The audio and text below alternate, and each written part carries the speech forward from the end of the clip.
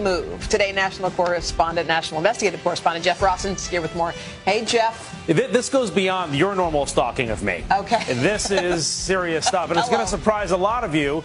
It's on my phone right now. Here it is, and it surprised me. Did you know that if you have an iPhone or an Android device, chances are every single thing you do is being tracked right now, location by location, down to the exact minute you were there. So who's getting all your information? And how do you shut this off? Pull out your phones right now and get ready. We're about to show you everything. Oh my goodness. Oh wow. It's scary. When we hit the streets. Whoa. No one knew about it. On the 5th, you were there from 7:18 a.m. to 9:24 a.m. Holy cow. Yes, even this police officer was shocked. The motherload of personal information stored right on your phone for anyone to see. Where you live, where you work. See all those little blue dots? It even maps out where you go, including the date and exact times you were there. Tech security expert Jim Stickley. Very creepy. Very disturbing. So most of us have it. I imagine almost everybody. The iPhone, that personal tracker is very deep. Go to Privacy, Location Services, System Services, scroll down even more, and there it is frequent locations. But if you think that's invasive, storing all that data in your device, Stickley says it gets even worse. I think Android's far creepier. Um, Android you can track online, and to me, that's that's far bigger risk. That's right. He says if you have an Android phone, all your tracking data is sent straight to Google. It knows exactly where I was. This morning knows where I was sleeping, how long I slept for, when I left, when I arrived here, and that it knows right now here's where I'm sitting. And I don't need your phone for this. I can look at this right if I have access to your account. You could be any computer anywhere in the world and pull this up. And it goes far back. You can go to any day. I can go a year ago if we wanted. So here, yesterday, you can see I started out over in California, traveled across over to Texas. It sees exactly where I went, exactly when I went there. And if I zoomed in right now, I would see exactly where in California and exactly where in Texas we are. You'd be able to see where I had lunch in California. Did you know this was here? No, I did not. I'm not too pleased about that. It's kind of creepy. Time to bring it to the people. I'm going to show you a hidden thing on this iPhone. Okay. Look at this. I even know where you live. Yes, you do. What do you think of this?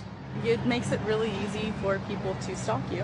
When we show this group of new moms in the park, I don't need anyone to know where I was. They were downright scared. These are all the places you go to. It shows a map of where I've been. It's scary. I'm at home alone with my son all the time. I don't want anybody to know where I live. And you just knew this would come up. So you're saying I could take my husband's phone and look at all the places that he's been recently? Yes. So maybe I won't tell him how to turn it off. Hope he's not watching right now. Why do they have it there? Like, what's the purpose of it?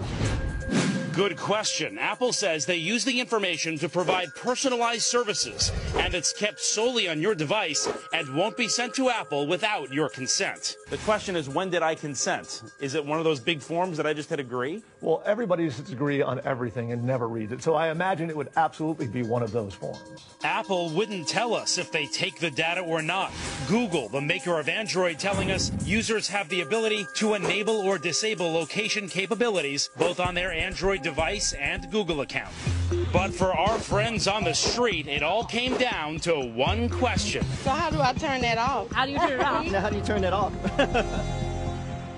Yeah, good question. You guys want to know that too. All right, so you guys all have iPhones, right? Yeah. All right, so let's do this. We're going to walk you through it. Take keep an eye on this. This iPhone is plugged right here. So start on your home screen. Okay. Okay. Go to settings. All right. You see settings is up. Yeah. Then Wait, where's settings? then go to privacy. You see privacy down here? Yes. Hit privacy. Mm-hmm. Okay. On the top, location services. Yes. Mine's Hit already off. location Yours services. off. Mine's off. Oh, well, oh, you're good. Get out of here. You're good. You're good. Yeah. You're excused from the You class. get an A. Thank you. All right, okay. so in location services, scroll all the way down. You see it says system services right there on the bottom, right. right, down Yes. over here. Hit system services. Okay. Scroll down even more. you see Frequent locations. Frequent locations. Oh, Hit that. I wanna see see where that? you go. Yes. It has Got all it. where you've been. I'll be Yes. checking yours out later, Natalie. What? Hit, hit clear Wow. history. Clear history. Okay. Clear history. And then shut frequent locations off. I want to look at it. Boom. That's crazy. Boom. It's off. Wild. Done. 22 off. locations recorded around New Now, York. what do you do? Wow. Oh my gives God. you the dots. Chipotle, Chipotle, Chipotle. Starbucks. Um, So there you have it. Yeah, and so, but, good. What was Well, your I was just going to ask you because, you know, I want my GPS to work. There's That's- certain things I want the that phone to still be able works. to do. This is only shutting off the frequent locations thing. Everything else you have on your location services will work. What about Bye-bye. Android?